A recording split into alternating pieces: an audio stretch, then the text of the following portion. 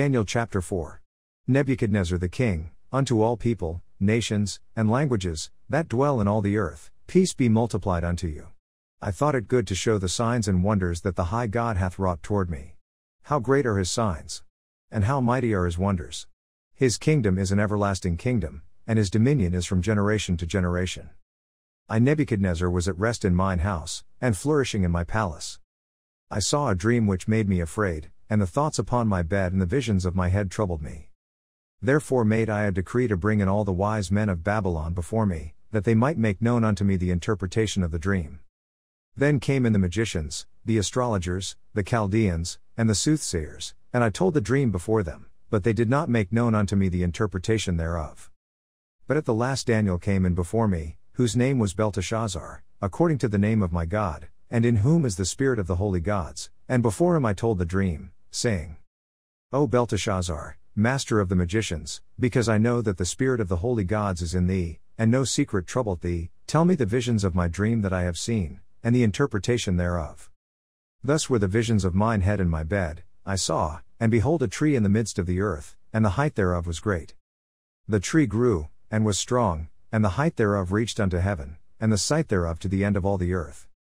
The leaves thereof were fair, and the fruit thereof much, and in it was meat for all. The beasts of the field had shadow under it, and the fowls of the heaven dwelt in the boughs thereof, and all flesh was fed of it. I saw in the visions of my head upon my bed, and, behold, a watcher and an holy one came down from heaven. He cried aloud, and said thus Hew down the tree, and cut off his branches, shake off his leaves, and scatter his fruit, let the beasts get away from under it, and the fowls from his branches. Nevertheless, leave the stump of his roots in the earth, even with a band of iron and brass, in the tender grass of the field, and let it be wet with the dew of heaven, and let his portion be with the beasts and the grass of the earth. Let his heart be changed for man's, and let a beast's heart be given unto him, and let seven times pass over him. This matter is by the decree of the watchers, and the demand by the word of the holy ones, to the intent that the living may know that the Most High ruleth in the kingdom of men, and giveth it to whomsoever he will, and setteth up over it the basest of men. This dream I King Nebuchadnezzar have seen. Now thou, O Belteshazzar, declare the interpretation thereof, for as much as all the wise men of my kingdom are not able to make known unto me the interpretation, but thou art able, for the spirit of the holy gods is in thee. Then Daniel, whose name was Belteshazzar, was astonied for one hour, and his thoughts troubled him. The king spake, and said, Belteshazzar, let not the dream, or the interpretation thereof, trouble thee. Belteshazzar answered and said, My lord, the dream be to them that hate thee, and the interpretation thereof to thine enemies. The tree that thou sawest, which grew, and was strong, whose height reached unto the heaven, and the sight thereof to all the earth. Whose leaves were fair, and the fruit thereof much, and in it was meat for all, under which the beasts of the field dwelt, and upon whose branches the fowls of the heaven had their habitation. It is thou, O king, that art grown and become strong, for thy greatness is grown, and reacheth unto heaven, and thy dominion to the end of the earth.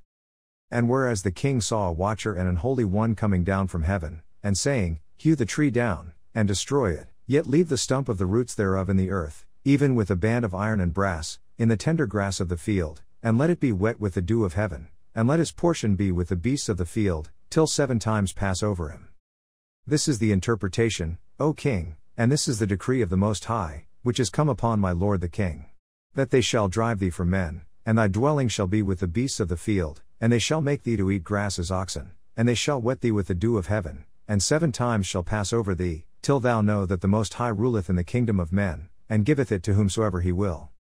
And whereas they commanded to leave the stump of the tree roots, thy kingdom shall be sure unto thee, after that thou shalt have known that the heavens do rule. Wherefore, O king, let my counsel be acceptable unto thee, and break off thy sins by righteousness, and thine iniquities by showing mercy to the poor, if it may be a lengthening of thy tranquility. All this came upon the king Nebuchadnezzar. At the end of twelve months he walked in the palace of the kingdom of Babylon. The king spake, and said, Is not this great Babylon, that I have built for the house of the kingdom by the might of my power, and for the honor of my majesty? While the word was in the king's mouth, there fell a voice from heaven, saying, O King Nebuchadnezzar, to thee it is spoken, the kingdom is departed from thee. And they shall drive thee from men, and thy dwelling shall be with the beasts of the field, they shall make thee to eat grass as oxen, and seven times shall pass over thee, until thou know that the Most High ruleth in the kingdom of men, and giveth it to whomsoever he will.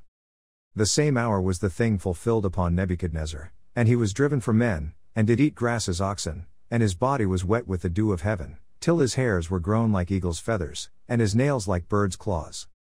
And at the end of the days I Nebuchadnezzar lifted up mine eyes unto heaven, and mine understanding returned unto me, and I blessed the Most High, and I praised and honored him that liveth for ever, whose dominion is an everlasting dominion, and his kingdom is from generation to generation.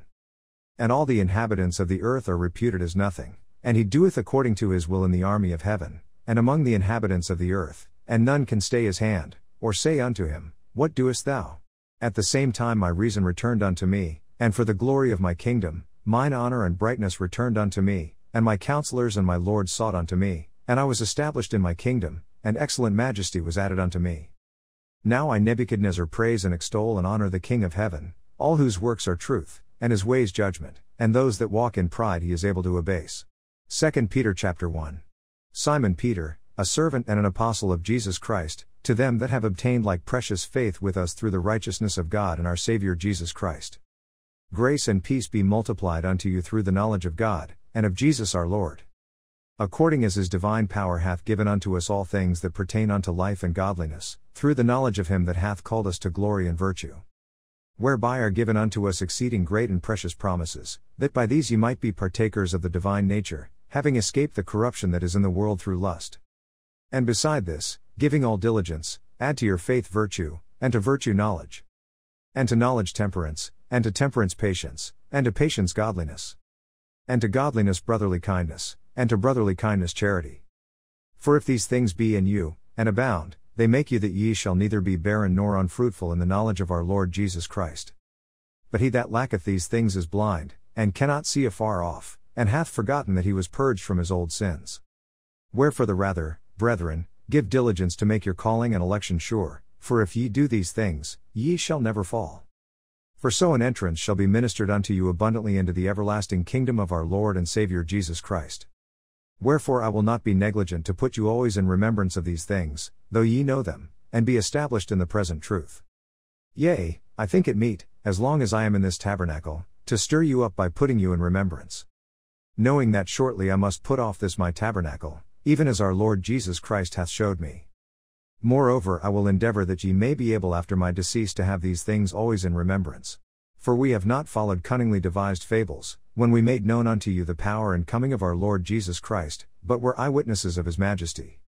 For he received from God the Father honor and glory, when there came such a voice to him from the excellent glory This is my beloved Son, in whom I am well pleased. And this voice which came from heaven we heard, when we were with him in the holy mount. We have also a more sure word of prophecy, whereunto ye do well that ye take heed, as unto a light that shineth in a dark place, until the day dawn, and the day star arise in your hearts. Knowing this first, that no prophecy of the Scripture is of any private interpretation. For the prophecy came not in old time by the will of man, but holy men of God spake as they were moved by the Holy Ghost. Psalms chapter 119 verses 97 through 112. Oh, how I love thy law! It is my meditation all the day. Thou through thy commandments hast made me wiser than mine enemies, for they are ever with me. I have more understanding than all my teachers, for thy testimonies are my meditation. I understand more than the ancients, because I keep thy precepts. I have refrained my feet from every evil way, that I might keep thy word. I have not departed from thy judgments, for thou hast taught me. How sweet are thy words unto my taste! Yea, sweeter than honey to my mouth. Through thy precepts I get understanding, therefore I hate every false way. Thy word is a lamp unto my feet, and a light unto my path. I have sworn, and I will perform it, that I will keep thy righteous judgments. I am afflicted very much, quicken me, O Lord, according unto thy word. Accept, I beseech thee, the freewill offerings of my mouth, O Lord, and teach me thy judgments. My soul is continually in my hand. Yet do I not forget thy law. The wicked have laid a snare for me, yet I erred not from thy precepts. Thy testimonies have I taken as an heritage for ever, for they are the rejoicing of my heart. I have inclined mine heart to perform thy statutes alway, even unto the end. Proverbs chapter 28 verses 17 through 18. A man that doeth violence to the blood of any person shall flee to the pit, let no man stay him. Whoso walketh uprightly shall be saved, but he that is perverse in his ways shall fall at once.